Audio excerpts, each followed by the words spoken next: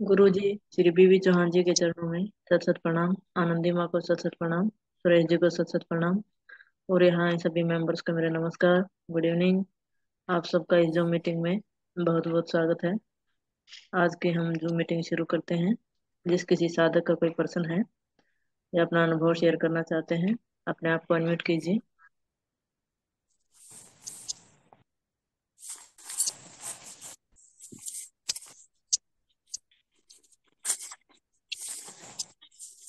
हाँ जी, किसी साधक का कोई पर्सन है या अपना अनुभव शेयर करना चाहते हैं तो अपने आप को अनम्यूट कीजिए।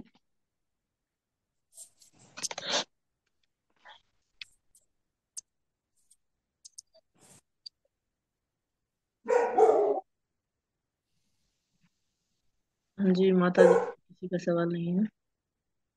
हैं ये सब कम लेट में है, प्रश्न पूछते जब खत्म हो जाती है तब सवाल पूछने लगते हैं। हाँ जी माता माता जी कई तो जुड़ते ही तब हैं जब दो चार मिनट रह जाती है।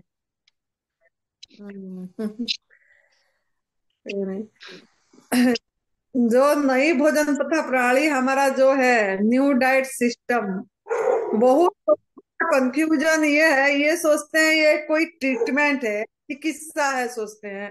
एक मतलब पथी थेरापी है यही ज़्यादा सवाल वही करते हैं, जब भी फ़ोन करते हैं। तो अपने मन बैठना पड़ेगा कि ये कोई ट्रीटमेंट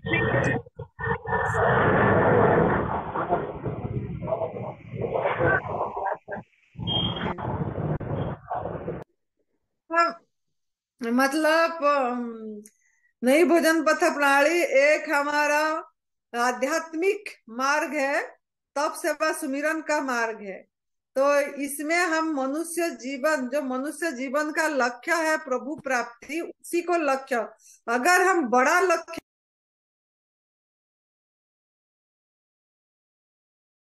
ज़्यादा से ज़्यादा सभी कोई ध्यान देते हैं खाली शरीर की स्तर पे मतलब शरीर निरोगी हो जाए, बस बाकी सब हो गया। तो शरीर निरोगी, काया तो अपने आप हो जाएगा। इसके लिए कोई करना ही कुछ नहीं पड़ता है। खाली हमको, हमारा लक्ष्य पे ध्यान देना है। बड़ा लक्ष्य जो है, हमको ये मनुष्य जीवन, श्रेष्ठ जीवन मिला है हमको कि एक संतुष्टि जीवन जीने के लिए, एक पूर्ण जीवन जीने के लिए। लेकिन हम हम हर समय एक अभाव को अनुभव कर रहे हैं, हर समय एक चाह रह रहा है, संतुष्टि जीवन नहीं है। तभी आज हम रोगी हो रहे हैं, शरीर से भी और मन से भी। तो मेरे सभी साधकों को यही बोलना है, हमारा लक्ष्य खाली शरीर का स्वस्थता नहीं है। सब सोचते हैं मैं कैंसर से ठीक हो जाऊँ, बस मैं, मेरा स्टोन निकल जाए गोल ब्लेडर का, अब मेरा आर्थराइटिस से ठीक हो जाऊँ ब्लड प्रेशर ठीक हो जाए शुगर ठीक, बस इतने में अपने आप को सीमित रख रहे हैं।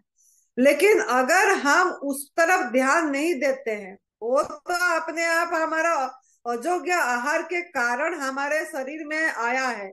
हमारा आहार हम नहीं लिए हैं। तभी ये सब चीज़ आई है। तो अगर हम, हमारा लक्ष्य बड़ा रखते हैं कि नहीं, ये जो हम मार्ग पकड़े हैं, हमारा अल्टीमेट गोल जो सेल्फ रियलाइजेशन अगर हमारा उस पर ध्यान रहे कि हमको किसी भी तरह बस हम प्रभु को ही याद करना है, खुद को इतना बुलंद करना है। खुद को कर बुलंद इतना कि हर तकदीर से पहले खुदा खुद पूछे, बोल तेरा रजा क्या है, बोल तेरा रजा क्या है।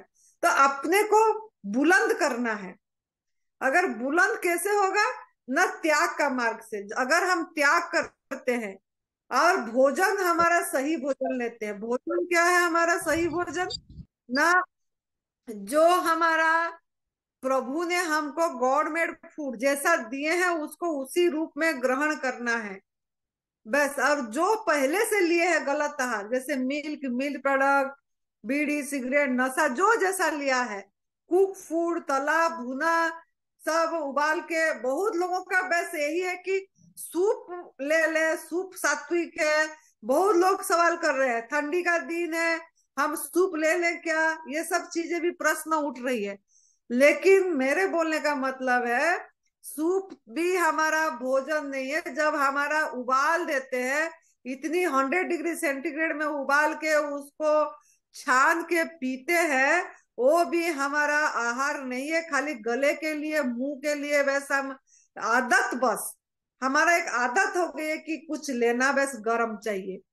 तो इसके कारण हम ले रहे हैं। तो वो भी ऐसे हमारा आहार नहीं है। हमारा आहार सिर्फ़ प्रभु ने जैसा दिए हैं, उसको उसी रूप में ग्रहण करना है हमको।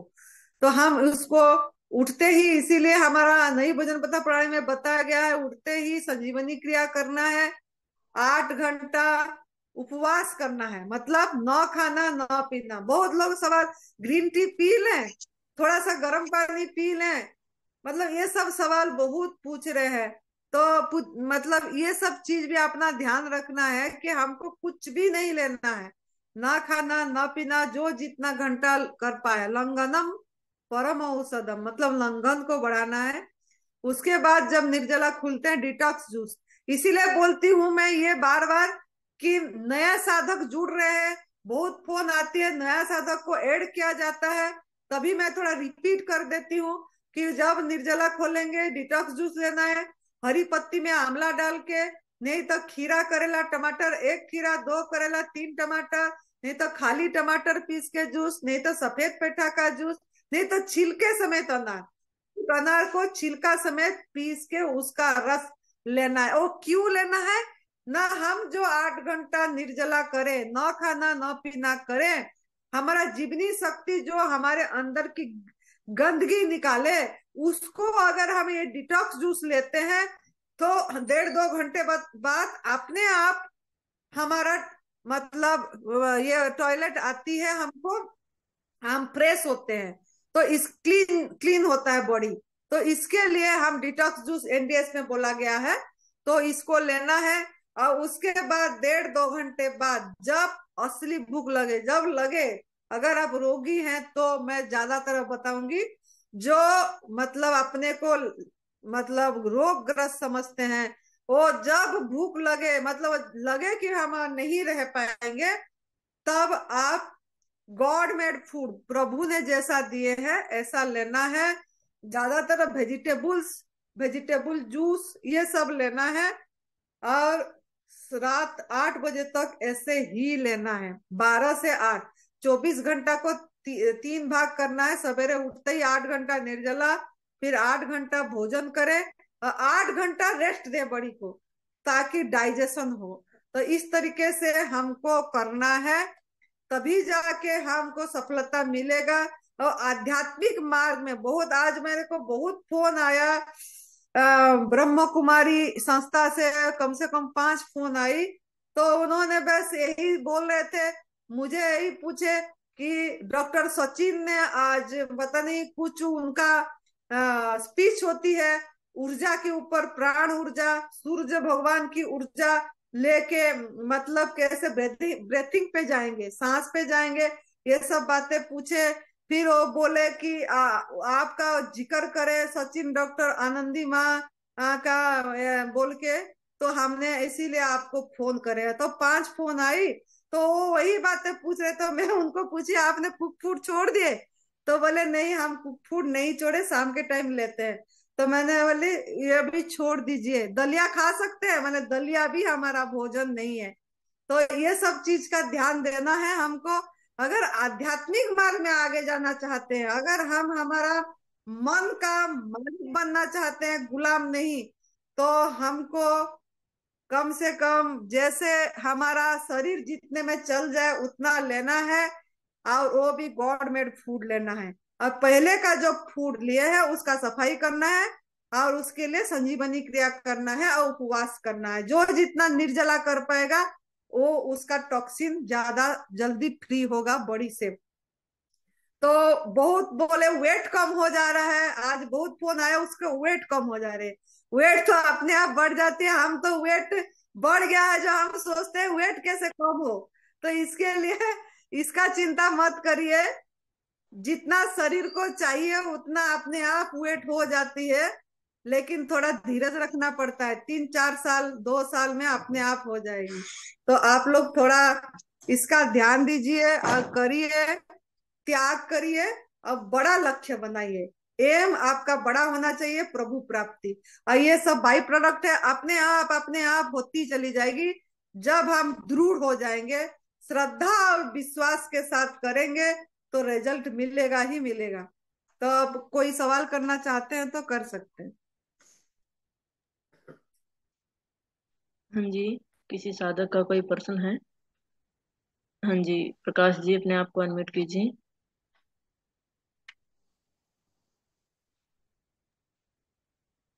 हाँ जी बोलिए। हाँ जी प्रकाश जी आपने अपने आप को फिर से म्यूट कर लिया है। अनम्यूट कीजिए अपने आप को। हाँ जी अभी बोलिए। ठीक है। आ रहा है? आवाज़ आ रहा है? जी आ रही है आवाज़ बोलिए। ये जो वेजिटेबल जूस लेते हैं ना? जी। वेजिटेबल जूस में अ, जैसे नारियल जो कच्चा नारियल का गिरी है वो मिला के भी खा सकते हैं ना? ये कौन बताया है? नहीं कच्चा नारियल डालेंगे। वेजिटेबल जूस जूस तो जूस होता है नारियल कैसे पड़ जाएगी? खीरा को पीस दूध खीरा में अदरक डाल के पीना कि खीरा टमाटर का जूस पीना इसी को वेजिटेबल जूस बोलते हैं। गाजर चकुंदर का जूस को वेजिटेबल जूस बोलते हैं। लौकी में अदरक डाल के नहीं पीना करना यही सब वेजिटेबल जूस में नारियल है। नहीं गाजर खीरा और ये गाजर खीरा नारियल कच्चा नारियल और ये सब मिला के सलाद को फिर जूस बना के पिया था। नहीं ना मैं अभी तो बत, ये गलत है। जूस में नहीं जाएगा नारियल। नारियल को नहीं डालना है।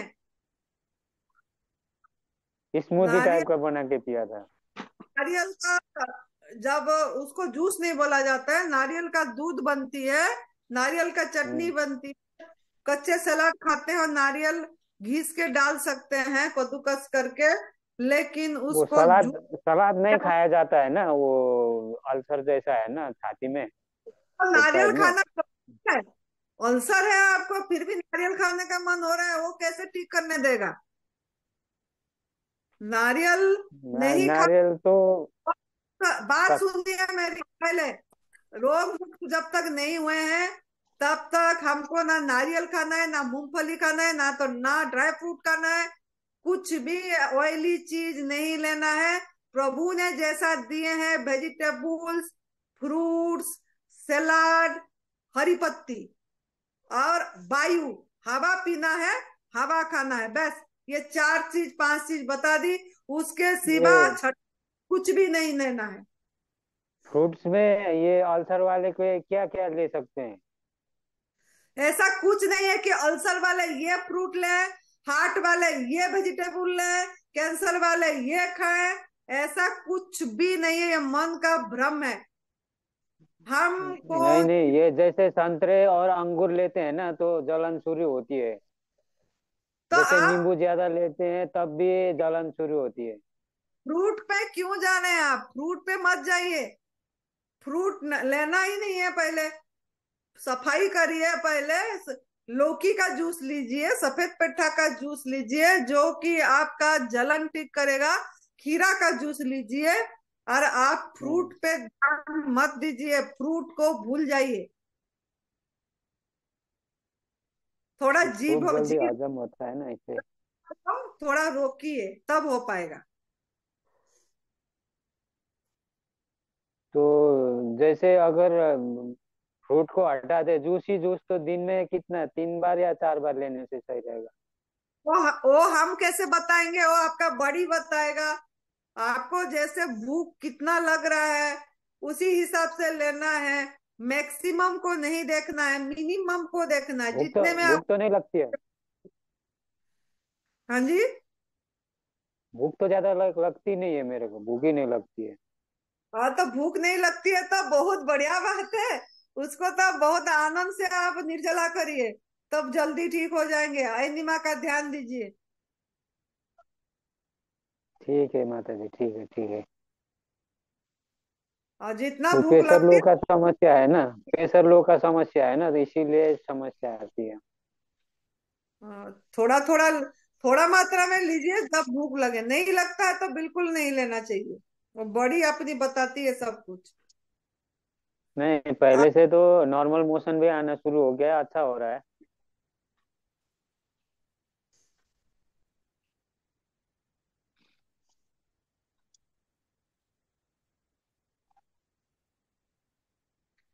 जी।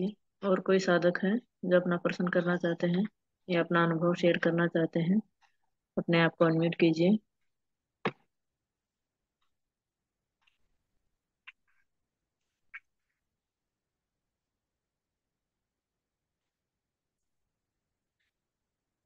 जी, सुधा पटेल जी, अपने आप को अनम्यूट कीजिए।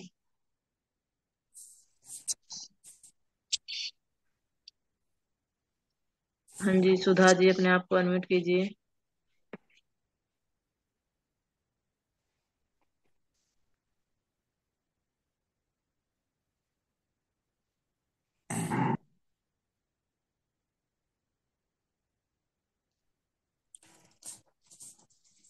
हाँ जी, तब तक किसी और साधक का कोई प्रश्न है या अपना अनुभव शेयर करना चाहते हैं तो अपने आप को अनम्यूट कीजिए। प्रीति जी मैं कुछ बोलना चाहूँगा।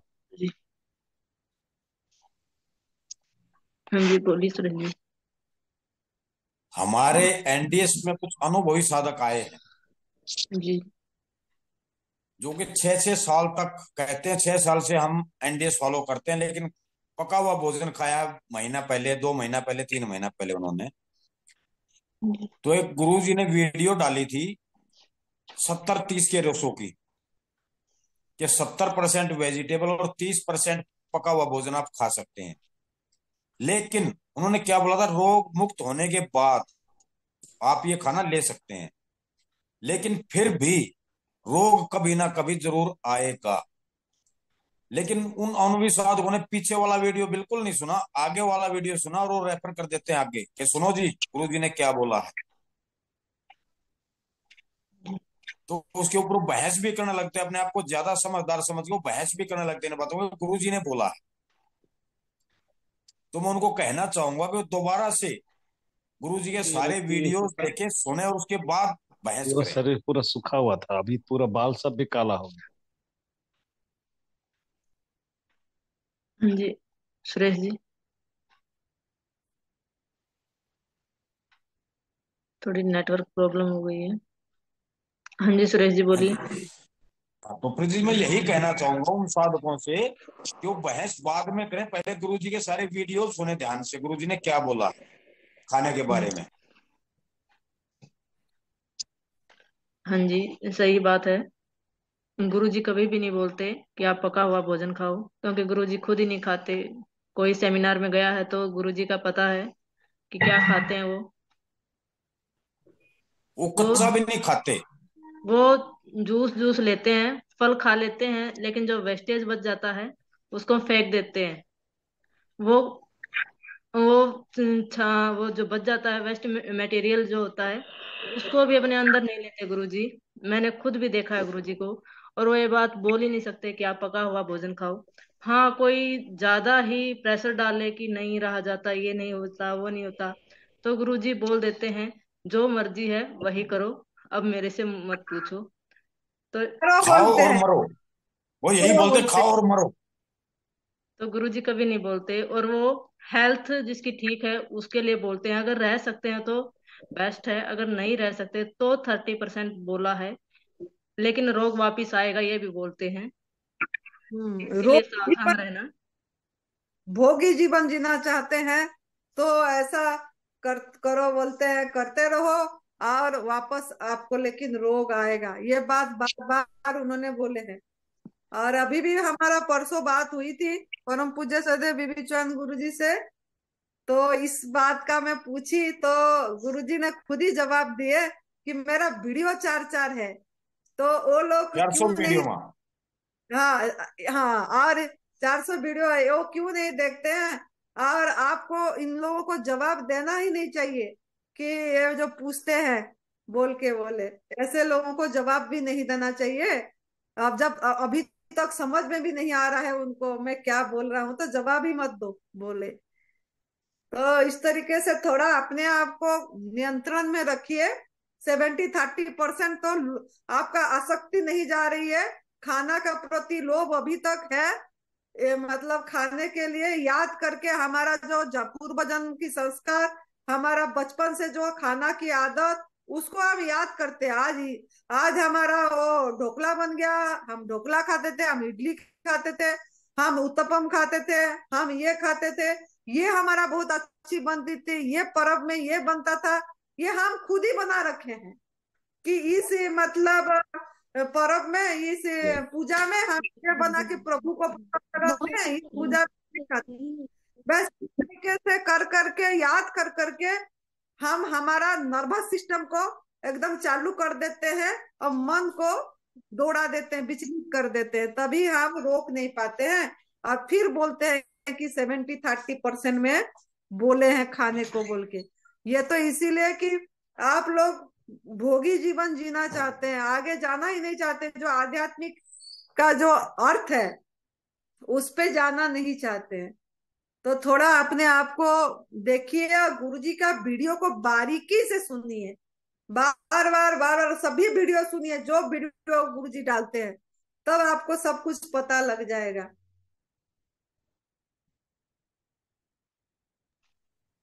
हाँ जी। प्रकाश जी, अपने आप को अनम्यूट कीजिए।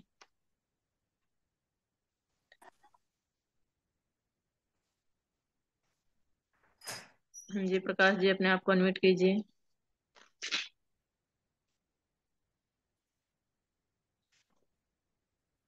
अभी तो प्रकाश जी बात कर रहे थे फिर प्रकाश जी क्या बोल रहे हैं? हाँ जी पता नहीं माता जी कुछ पूछ रहे हैं शायद। हाँ जी अगर आपको कुछ पूछना है तो अपने आप को अनम्यूट कीजिए प्रकाश जी।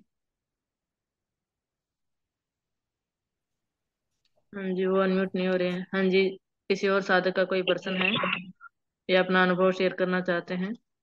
तो अपने आप को अनम्यूट कीजिए।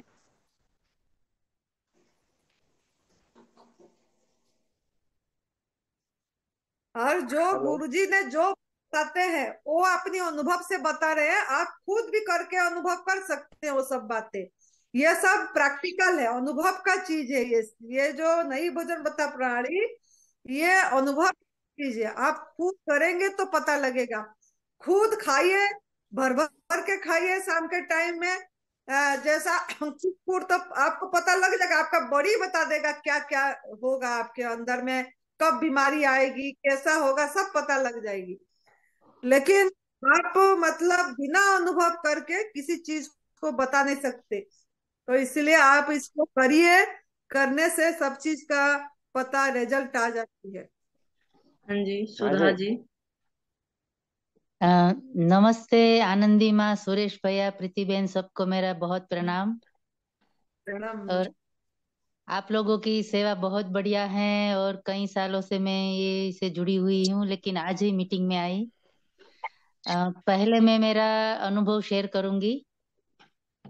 जी पहले आप अपना नाम और फ़ोन नंबर प्लीज़ बताएँ। मेरा नाम सुधा प्रणव पटेल है। मैं गांधीनगर से रहती हूँ गुजरात में। और मेरा फ़ोन नंबर है nine eight two five zero double four nine four zero. मुझे 25 साल से 30 साल से जो अन्न नली है फ़ूड पाइप उनका प्रॉब्लम था। वो उसमें सूजन आ गई हुई थी। तो वैसे बहुत अलग अलग थेरापीज किया करती थी आयुर्वेद होम्योपैथी कोई मैंने बाकी नहीं रखा था लेकिन अ, अच्छा हो ही नहीं रहा था। फिर ये लॉकडाउन के टाइम में मैं 2020 में मैंने एक महीना पूरे रसाहर पे चली गई एनिमा के साथ। मुझे एक डर सत, बहुत रहता था कि मैं दुबली पतली हो जाऊँगी तो फिर क्या होगा तो मैं नहीं करती थी डरती थी। फिर ये सब देखा तो थोड़ी हिम्मत आ गई तो फिर मैंने ये एक महीने का रसाहार कर दिया तो मैं पूरा मेरा क्योर हो गया है। वो मेरा पेट कोई भी भारी होता ही नहीं नहीं तो कुछ भी खाओ, मेरा पेट तीन चार घंटे तक बहुत भारी हो जाता था। तो पूरी लाइफ मेरी डिस्टर्ब रहती थी और कोई दवाइयों से काम नहीं चलता था। तो मेरा विश्वास इतना बढ़ गया है, बहुत सारा बढ़ गया मैं कई लोगों को इसके बारे में सुझाव भी देती हूँ कि ये करो। लेकिन मेरा भी एक प्रॉब्लम ये है कि अभी भी मैं कोई अदरक खा लिया या खजूर खा लिया तो मुझे थोड़ा ऐसा लगता है कि वो मेरे को गर्म हो जाता है। अदरक से भी गर्मी लग जाती है खजूर से भी गर्मी लग जाती है तो मुझे और भी प्योरिफिकेशन की ज़रूरत है कि मुझे ये अवॉइड करना चाहिए क्या करना चाहिए? वज़न भी थोड़ा कम है मेरा तो क्या करूँ? बताइए सुरेश बेटा। हाँ जी सुरेश जी अपने आप को अनम्यूट कीजिए पहले। कितने दिन से आप एनडीएस फॉलो कर रहे हैं भाई? मैं वैसे तो तीन साल से कर रही हूँ लेकिन मेरा ऐसा पूरा हंड्रेड परसेंट मैं पका हुआ नहीं खाती ऐसा नहीं है। मैं अभी अमेरिका गई थी तो फिर मैंने पका हुआ खाया। फिर तो घर फिर पे तो फिर क्यों पूछते हैं? फिर क्यों पूछते हैं अदरक से ये हुआ जिससे हुआ। पहले पका हुआ भोजन छोड़िए आप। अच्छा वो वो ठीक है। मैं ये ये घर पे हूँ तो मैं हंड्रेड परसेंट फॉलो करती हूँ। घर पे हो बाहर हो कहीं भी हो ये एक बहाना है हमारा। हम्म। ठीक है? कहीं भी है। जाएँगे हमें फ्रूट्स भी मिल जाएँगे वेजिटेबल्स मिल जाएँगे और कुछ भी नहीं मिलेगा तो पेड़ों के पत्ते तो मिल ही मिल जाएँगे। सही है आपकी बात। ये तो हमारा बहाना के जी बाहर गए तो खाना पड़ा। ये हम खुद बहाना सोचते हैं। ठीक है नहीं तो पहले सबसे पहले इस पके भोजन को छोड़िए फिर बताइए हम। ठीक है भैया ठीक है। और दूसरी बात मेरे को ये पूछनी थी कि मेरा थोड़ा ये अनुभव है कि किस कैंसर के चार पाँच पेशेंट को वैसे मैंने थोड़ा हैंडल किया था कि वो लोग ऐसे डर के मारे उन उन लोगों को केमोथेरेपी रेडिएशन तो करना ही है। इतना घबरा जाता है डॉक्टर बोलते हैं कि अब आपके पास कोई रास्ता नहीं है तो वो लोग एनडीएस के बारे में पता नहीं होता है तो इतना जल्दी कन्विंस नहीं होते हैं। तो मैं क्या करवाती हूँ कि ये लोगों को ऐसा बोलती हूँ कि आप लोग केमोथेरेपी रेडिएशन करवाइए लेकिन आपका फ़ूड चेंज कर दिए। डॉक्टर बोलेंगे कि पका हुआ सब खाइए लेकिन आपको नहीं खाना है आप ओनली ओनली नेचुरल खाइए और एनिमा लीजिए। तो इसमें इतना बढ़िया रिज़ल्ट मिला है चार पाँच पेशेंट के साथ ऐसा हुआ था कि उन लोगों को फिर कोई साइड इफ़ेक्ट होती ही नहीं है बाल नहीं झड़ते हैं पेट में जो वॉमिटिंग जैसा फीलिंग होता है खाना नहीं खा सकते हैं मुँह में छाले पड़ जाते हैं। ऐसा कोई भी नहीं, कुछ भी नहीं होता है और बहुत बढ़िया तरीके से उन लोगों का ये हो जाता है। और लीवर के एक दो पेशेंट से थे कि जिसका वैसे फोर्थ स्टेज का था तो बचने का तो कोई ऐसा ज़्यादा उन लोगों के लिए तो था नहीं। और तो उन लोगों को भी इतना बढ़िया रिज़ल्ट मिला कि तीन चार साल दो दो साल तक तो ऐसे ही वो लोग ज़िंदा रहे और अच्छी तरह से जिए। केमोथेरेपी रेडिएशन कुछ भी नहीं लिया। और फिर भी वो लोग अच्छी तरह से दो साल जिए और बाद में वो चल बसे। क्योंकि वो हंड्रेड परसेंट सब कुछ नहीं करते थे, फिर भी नेचुरल खाने से इतना बढ़िया रिज़ल्ट मिला वो लोगों को। तो ये मेरा थोड़ा एक्सपीरियंस था। अभी एक दो पेशेंट का ऐसा चल रहा है। वो लोग जल्दी से सब कुछ हमारी बात नहीं सुन लेते हैं, फिर भी घबराते घबराए हुए होते हैं ना। लेकिन इतना थोड़ा सा भी करके रिज़ल्ट बहुत बढ़िया मिल रहा है। दीदी पहली बात तो आपको ये बताऊँ एनडीएस किसी को सदा के लिए ज़िंदा नहीं रखता है। ये एक सच्चाई हम सभी को जाना है। एनडीए सिर्फ़ इतना करता उस जाने का रास्ता सरल बनाता है हमारा। एक तो हम हाय हाय करता है समझे नहीं आप बात को? तो यही है। एनडीएस किसी ऐसे एनडीएस में सभी ज़िंदा रहे तो आगे किसी का नंबर नहीं आएगा हम ही यहाँ रहेंगे। एनडीएस वाला ही बाकी तो कोई रहेगा नहीं आगे। तो ऐसा नहीं जाना हमें भी एक दिन ज़रूर अपने समय पे। हाँ हम कब जाएँगे? जब बीमार रही तुम्हारा शरीर है तो आराम से अपना टाइम पूरा करके जाएँगे। है नहीं? पहली बात तो ये फ़र्क है। दूसरा जो आप बोल रहे हैं कि जी किमो वाले को हम ये बोलते फोर्थ स्टेज थर्ड स्टेज ये स्टेज सिर्फ़ ओनली डॉक्टरों की भाषा में ही। ये स्टेज मेडिकल साइंस ने बनाई है एनडीएस में कोई भी स्टेज नहीं है। क्योंकि एनडीएस तो अपना काम ही वहाँ से शुरू करता है जहाँ से मेडिकल साइंस ने हाथ खड़े कर दिए है। नहीं? ये तो डॉक्टरों ने स्टेज बनाया है फ़र्स्ट स्टेज सेकंड स्टेज। उन डॉक्टरों को अपना पता नहीं है कि तुम्हारी लाइफ कितनी है लेकिन वो दूसरे का बता देंगे जी चार दिन की है छह दिन की है दो महीने की उनका कैसे बता देंगे वही बताइए। हम्म। अपना किसी डॉक्टर ने बताया आज तक मेरी इतनी लाइफ है बताओ बताया तो बताओ। पूछ के देखो उनसे। और जिनको बताया है कि तेरी तो छह दिन की लाइफ है तेरी दो महीने की वो आज तक ज़िंदा है। उसमें आप तो बताइए उनकी बात। तो बताइए उनकी बात को हम कैसे सच मानेंगे? हम्म। तो ऐसा कुछ नहीं है ये उनकी डॉक्टर की लाइन उनकी पढ़ाई जो है वही वो बताते हैं। लेकिन एनडीएस की पढ़ाई अलग है। जहाँ मेडिकल साइंस ने हाथ खड़े कर दिए वहाँ से एनडीएस ने अपना काम शुरू कर दिया हाँ इन जो विश्वास के साथ एनडीएस फॉलो करेगा उसके लिए एनडीएस जो ज़बरदस्ती करेगा इलाज समझ के करेगा कि दो महीने करना चार महीने ज़बरदस्ती खा लूँगा ये कर लूँगा वो बिल्कुल ठीक नहीं हो पाएगा। तो मेरी एक बहुत इच्छा है कि मैं आप लोगों के पास आऊँ और थोड़ी आप लोगों की सेवा करूँ। लेकिन कब मौका मिलेगा मालूम नहीं है। दीदी हम ही लोगों की सेवा करते हैं आपकी सेवा भी करेंगे आप आइए। हाँ ठीक है। बहुत आप लोग प्यार से करते हैं इसलिए मन खींच रहा है कि आप लोगों के पास आऊँ। नहीं मैं प्यार से नहीं करता मेरे को तो लोग गालियाँ देते हैं। वो मेरे को मालूम है घबरा जाती हूँ मैं भी घबरा जाती हूँ। लेकिन आप भलाई के लिए कर रहे हैं ना सबकी भलाई के लिए कर रहे हैं जो भी कर रहे हैं। वो सम वो समझने वाले कम है। दिल कड़वा नहीं है। हाँ। तो कितनी मेहनत करते हैं बहुत प्यार से आप लोग करते हैं बहुत प्यार से। ऐसा प्यार कहीं नहीं मिलता है इसलिए मन मेरा खींच रहा है कि आप लोगों के पास आओ रहो। कोई दीदी जब भी मन करे आइए। ठीक है नमस्ते। वो आपका अपना आश्रम हमारा कुछ नहीं है वहाँ। थैंक यू वेरी मच पूछ रहे थे हमारा परम पूज्य सदैव बीबी चौहान गुरु जी का अदरक में ही एलर्जी थी। तो अदरक को वो भी नहीं ले पाते थे लेकिन उन्होंने अदरक अभी अच्छी से ले सकते हैं जूस लेते हैं सब कुछ लेते हैं। तो आप भी ऐसे हो सकते हैं जब आप पूरी तरह कुक फ़ूड छोड़ देंगे अपने आप अदरक भी आपका हो जाएगा। अदरक है। होगी। ठीक है। नमस्ते जी दीदी। हाँ।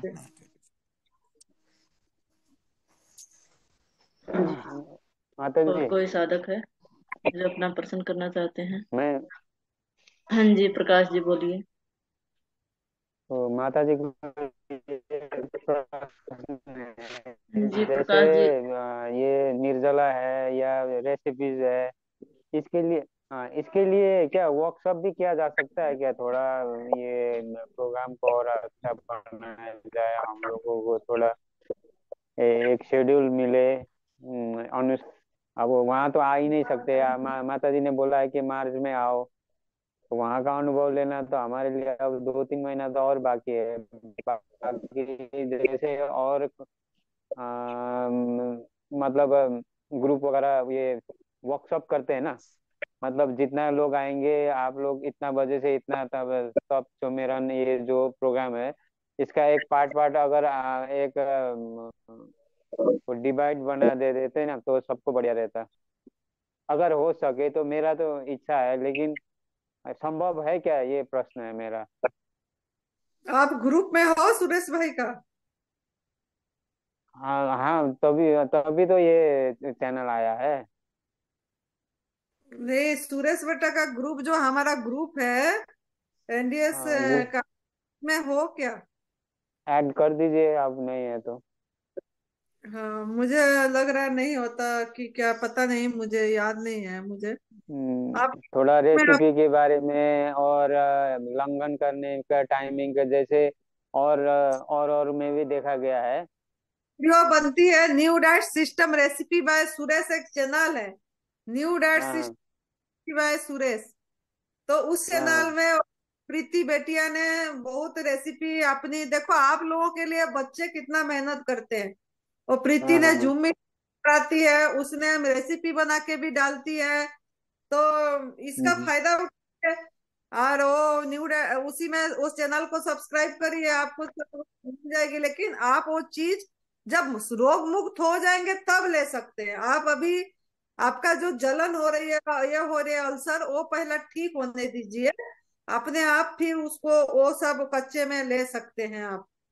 तो आप उसको करिए और new diet system Sadhana Kendra Anandi Maa Suresh ji new diet system Sadhana Kendra Anandi Maa Suresh ji एक चैनल है उसमें सभी लंघन के विषय में निर्जला के विषय में बहुत वीडियो नहीं वो डाला तो गया वो तो ठीक है वो तो ठीक है माँ लेकिन ये वर्क वर्कशॉप में क्या है कि सब एक टाइम में जुड़ेंगे ना तो मज़ा आएगा जैसे हम लोग वही साधना कर रहे हैं तो इस टाइप का भी कभी कभी बनाएँगे तो अच्छा रहेगा करेंगे जो वेबिनार बोलते हैं आप सब वो भी करेंगे। अब थोड़ा सा अभी क्या ना आश्रम का काम चल रहा है सुरेश बेटा ने बहुत तो जोरदार लगे कार्यक्रम हैं। होता है ना जैसे कि आप लोग को इतने बजे उठना है इतने बजे उठना है इतने बजे भजन में बैठना है जैसे आस्था चैनल वगैरह में आता है ऐसे हम लोगों का भी कुछ बन जाए आखिर काम तो आगे बढ़ ही गया है। तो थोड़ा वहाँ का माहौल हमको यहाँ फीलिंग हो ऐसा चाहते हैं। करेंगे कोशिश करेंगे वो थोड़ा सा काम बाकी है वो कंप्लीट हो जाएगा। तो एक ऐसा हम्म, भी करेंगे चार दिन या पाँच दिन का शिविर जैसे जूम में हो जाए मतलब ऐसे हाँ कभी कभी रेसिपी का हुआ कभी निर्जला का हुआ कभी प्रवचन का हो गया आ, कभी साधना का हो गया ऐसा करके तो एक कंप्लीट मेथड बन जाएगा ना। हाँ, करा तो हम लोगों को भी बहुत अच्छा हो जाएगा और लोगों का जुड़ावना भी ज़्यादा आ जाएगा। और ऑनलाइन ही ज़्यादा काम ज़्यादा लोगों को रिज़ल्ट मिलने लगेगा। मेरा जो मन मानता है। कोई नहीं हम बात करेंगे आपका सलाह बात करके फिर ऐसे करेंगे। हम्म, हम्म, ठीक है जी माता जी बहुत बहुत धन्यवाद। हाँ जी और कोई साधक है जो अपना प्रश्न करना चाहते हैं? या अपना अनुभव शेयर करना चाहते हैं? अपने आप को अनम्यूट कीजिए।